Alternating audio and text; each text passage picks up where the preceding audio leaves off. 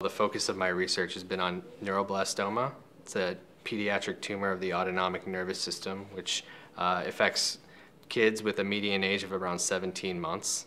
Uh, so what we're trying to do is model this disease in animals such as the zebrafish so that we can have a better understanding of what factors drive neuroblastoma and what uh, mutations are relevant to patients. We're currently investigating a group of genes that are frequently deleted in human neuroblastoma.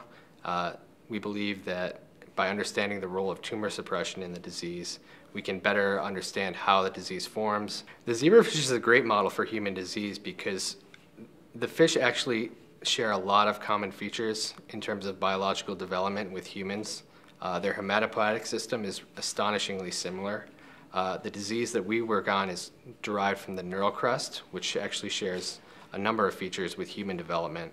And so a lot of the processes that go on uh, in humans can be faithfully modeled in the fish. Helping people is important to me, especially when it comes to cancer, because everybody, almost everybody in the world has had somebody close to them or someone they know affected by the disease.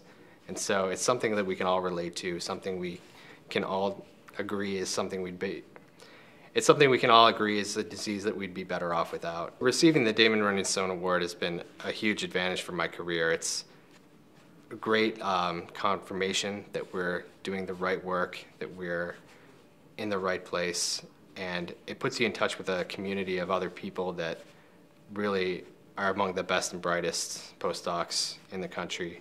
And so being able to like talk to them and rely on them for help is a huge advantage for any any fellow in my position.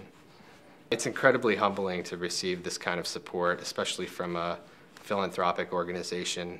Um, really, we couldn't do anything that we currently do without the support of Damon Runyon or the Sohn Foundation.